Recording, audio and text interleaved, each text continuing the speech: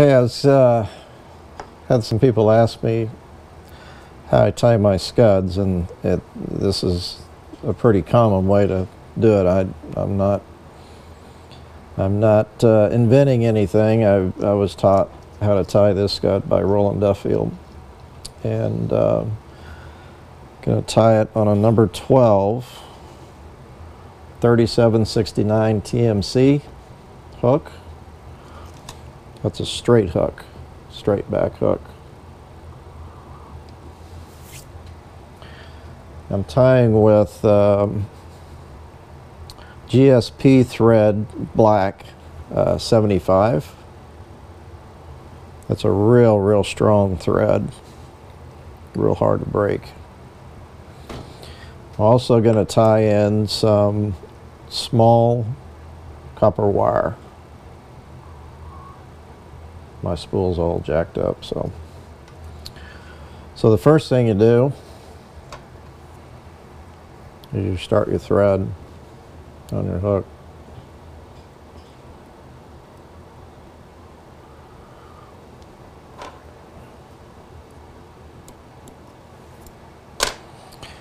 Then you tie in your wire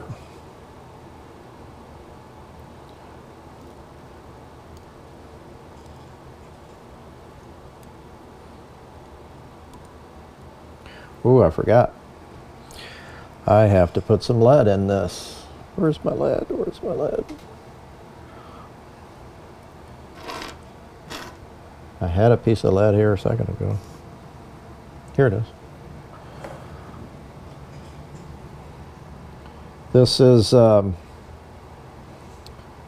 0.05, 015 lead. And um, I'm going to tie 12 wraps a 0.015 lead.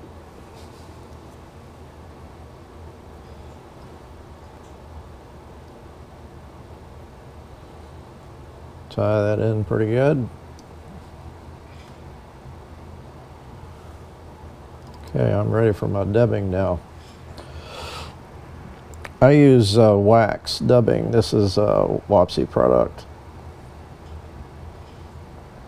And what this does, put it on your your thread, and that helps your dubbing stick to your thread.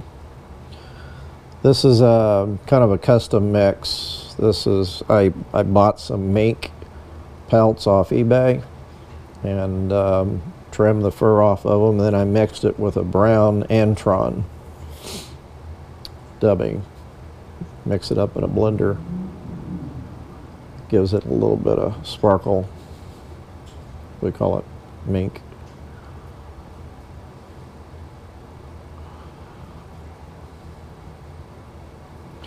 And what I do is I just kind of pull as I go. I, I, I put the, the dubbing against the thread and I just kind of pull it out of the, the glob of dubbing and I twist it a little bit on the thread and I want to get about the same consistency all the way down the thread.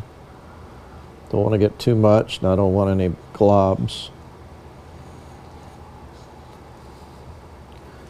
And then I wet my fingers and I get both ends a little bit, make sure that dubbing is kind of sticking to the thread and then I'll spin the, my uh, thread dubbing and then I'll twist the line or twist the thread. And now I've got the dubbing all the way down the, the thread. I don't want to get it too super tight. I want it still pretty loose, but I want it uniform to wear when I start putting that on. I want to keep it pretty uniformed, about the same thickness, I guess, all the way across the back.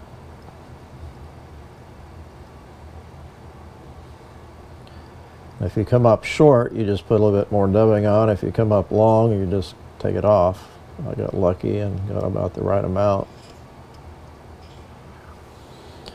Okay, and then I take, this is just, don't have to do this, but I do it. It, it gives it a little segment look. I'll wrap my copper wire.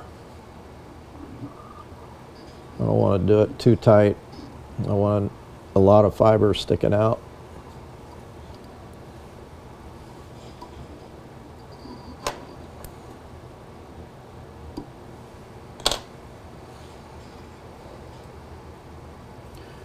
Uh, just tie that off.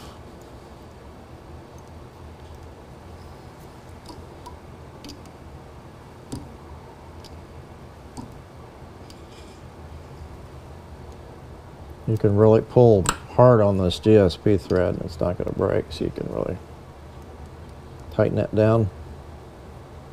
And you can usually break it, but I didn't break it that time. And I take a dubbing brush.